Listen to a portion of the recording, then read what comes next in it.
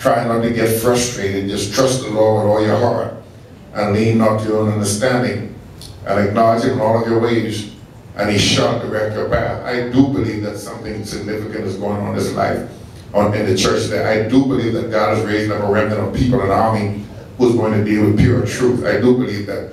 I believe that the day of the, of the praise dance has passed us. Amen. I believe the day when you go to church just to praise and see our dance one another.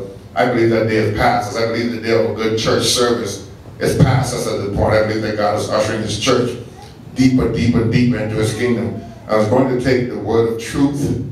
Amen. I had a pastor tell me the other day, yesterday I think it was, man, what you speaking is true. It's just hard on, on, on the airs of religion. But he said it's like gold.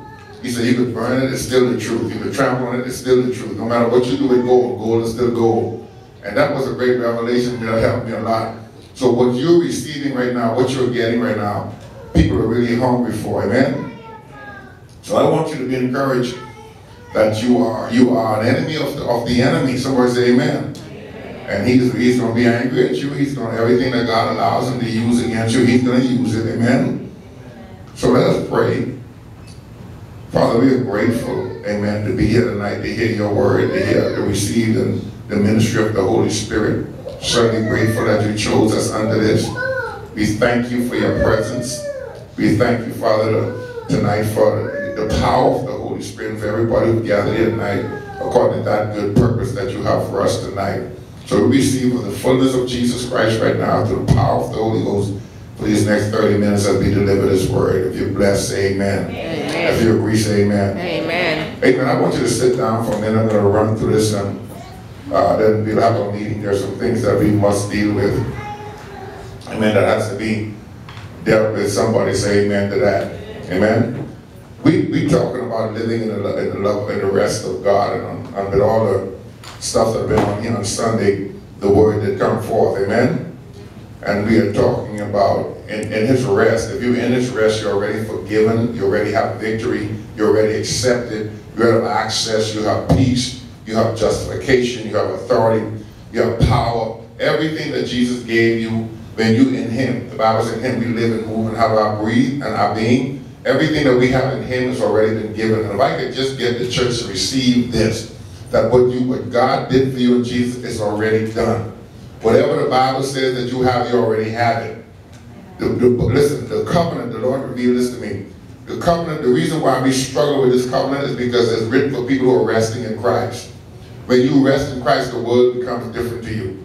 The whole word becomes different. That's why the Bible says all things become new. Because if you're resting in the finished work of God, if you know that you're accepted, you know that you're already saved, you ain't trying to be saved, you ain't trying to please nobody. If you know that you have power to overcome all things, to be a witness unto Jesus Christ, if you know that you're already holy, you're already righteous, if you already know those things that you have, in, you have peace with God, He'll never be mad with you. When you know those, uh, when you know those things and you receive those things, the word becomes different. Because the word was written for people in the rest of God. The word was not written to try to get you saved. The covenant, the new covenant was written for those who are saved. So when, he, when, when, when word comes to you, it's not trying to get you saved. Once you confess with your mouth the Lord Jesus, believe in your heart, God raised from the dead, you're already saved. So if you read the word with the fact that I ain't trying to do nothing, I'm just trying to accept what I have, it changes the whole word for you. I wish somebody get that. Because I, I learned this week that when I'm resting in God, this whole word becomes different because I ain't trying to qualify for nothing. So I'm not, I'm not reading this from the point of defeat and trying to measure up. I'm reading it from the place where I already have victory. Thanks be unto God who will give me the victory. So no matter what I face, I already have victory. I was telling my wife in the car coming over here just as the stuff, and I got the word about the music system and all the things that they changed. And I, and I was telling her, nothing just happens. You know, this is not a time to get frustrated. I'm not going to get angry. What I'm going to look at, what is God doing here? What is he saying to me here? Because they, this didn't just happen because they had a bad day or they trying to do something evil. This happened because it's been ordained.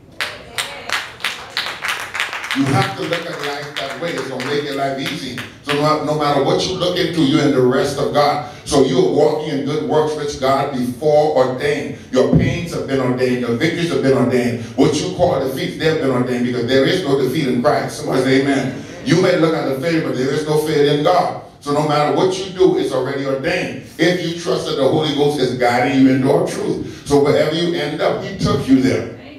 Y'all ain't ready for this right here. So if I know that no matter where I end up, no matter, uh, I have two different lunches today, and you know, that's not something I really don't, I don't like doing on days that I'm supposed to speak. But I know it had to happen because I tried to cancel